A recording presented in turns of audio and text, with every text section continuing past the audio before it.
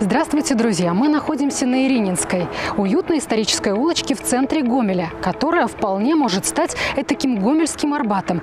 За эти полтора года мы очень труд- трудились, работали э, на то, чтобы место стало популярным. Безусловно, нужно придумывать что-то такое авторское, что-то крутое, то, что кроме тебя никто не делает. Я безвылазно, ну вот буквально полтора года я просто вот каждый день даже работала без выходных.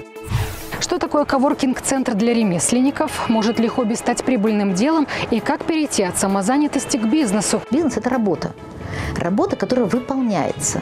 Только тогда можно и заработать больше, а не так, сидя и ожидая, что что-то увеличится. И когда получилось так, что пол полки моей было продано, и когда я посмотрела, что это половина моей зарплаты учительской, и тут у меня закралась, конечно, мысль, Кто же я на самом деле?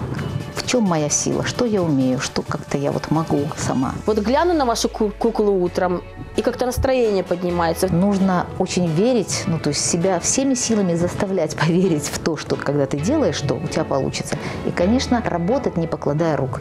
Только работа может дать результаты. Такой подход к жизни, пожалуй, не помешало бы взять на вооружение каждому из нас.